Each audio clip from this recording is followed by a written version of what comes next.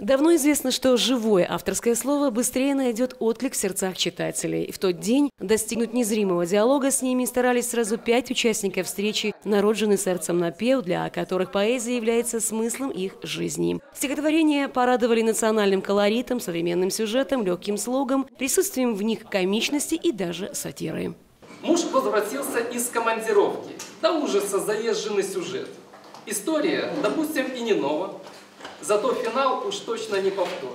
Шекспир, Мольер сказали свое слово, и я свой нос засуну в разговор.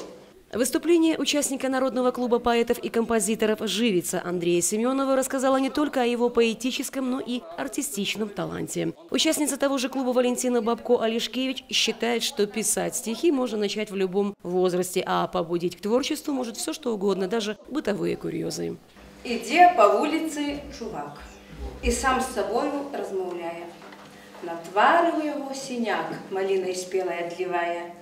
На ім примятое одіння, давно не чищений обуток, а у очах його сумнення і синяком прикритий смуток.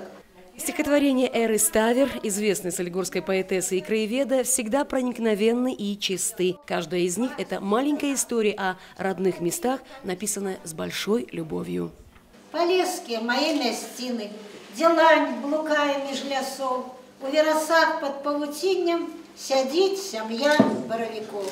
І назвы вёсак захавалі вялікі лес і лесаўню, равецкі лес і баравую, дзе птушкі будзяць цішыню. Настоящим украшением программы стало выступление автора и исполнителя песен Николая Холода.